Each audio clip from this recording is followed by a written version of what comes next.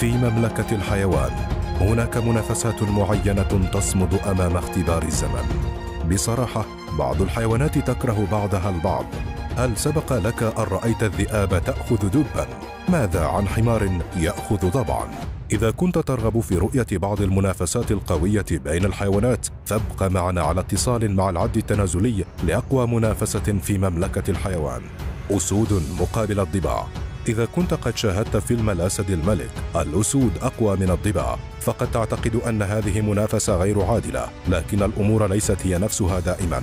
منذ فجر التاريخ حاربت الأسود والضباع من أجل نفس الفرائس وجثث الحيوانات. عندما يتنافس نوعان من الحيوانات على نفس الطعام تزداد التوترات وكذلك غريزة البقاء على قيد الحياة. كما ذكرنا سابقا فإن الأسود أقوى لكن عدد الضباع أكبر بكثير مما قد يؤثر على نتيجة القتال بين هذين العدوين.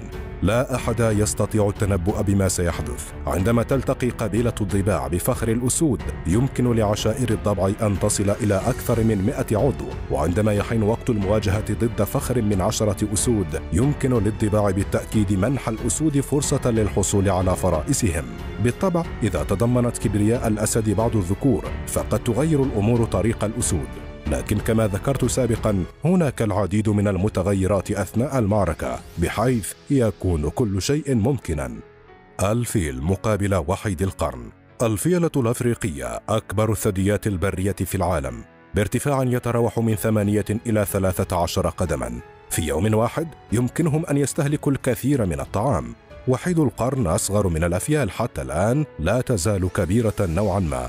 يمكن أن يكبر ليصبح بين أربعة وستة أقدام ويصل وزنها إلى ثلاثة آلاف رطل لأن هذين العملاقين الإفريقيين يتمتعان بالحيوية لنفس المساحة. كثيرا ما تصطدم الفيلة ووحيد القرن.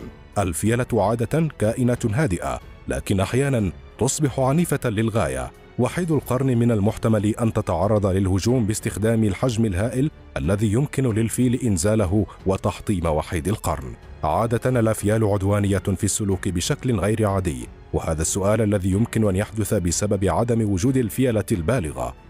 الدب مقابل الذئاب. إذا واجه الدب مجموعة من الذئاب النتيجة الأكثر احتمالا هي أن كليهما سيواجه الآخر بشراسة. هذا بلا شك هو التنافس الأكثر ظلما في عالم الحيوان. الحمير مقابل الضبع. قد تكون الضباع مشكلة كبيرة في المزارع. تهجم الضباع على بعض المزارعين. تنص بعض الأعراف السائدة على أن الحمير ما زالوا يعملون كحراس ضد القيوط. لكن لم أعتقد أبدا أن الحمير يمكن أن تكون عدوانية بهذا الشكل. هذا عدواني وقوي. رأيت لقطات هذا الحمار يهاجم الضبع. وبالطبع تصطاد الضباع كمجموعة. ولهذا السبب هم صيادون عظماء. لكن هذا الضبع كان وحيدا. على الفور يهاجم الحمار بكل قوة لكن الضبع لا تزال لديه قوة اللدغة يمكن أن تدافع عن نفسها لكن ضد هذا الحمار الشرس. يبدو أنه لا يعرف خصمه جيدا ويبدو أن الضبع يلعب مع الحيوان الخطأ. يعتقد الكثير منا أن الضبع سيكون لديه اليد العليا على الحمار. إلا أن هذا الفيديو يوضح لنا أن الأمر ليس كذلك. يتم التعامل مع هذا الضبع من قبل حمار كما لو كان قطة منزلية. لقد رأيت الضباع تقاتل الأسود بشكل أفضل من ذلك بكثير.